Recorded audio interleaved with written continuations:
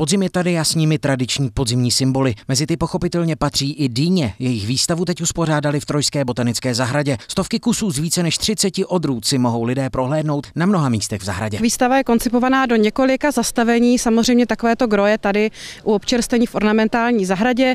Nicméně bych upozornila na dvě zastavení, které jsou umístěná tady eh, kousíček pod námi. Eh, jedno zastavení je mezi eh, bambusy.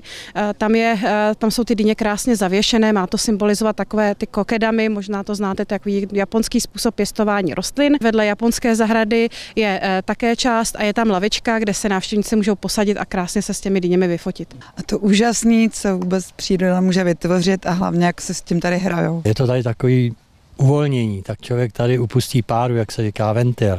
Je to zeleň, kytky, krásná výstava. Mně dýně docela líbí, protože teď je právě podzim ten Halloween, tak to je dobrá teď výzdoba. Výstavou dýně hrají všemi barvami to ale nekončí. Zahrada plánuje vystavené kousky využít i v rámci dýňových hrátek, které výstavu ukončí. Ty se konají tradičně vždycky poslední víkend, eh, kdy eh, se koná výstava.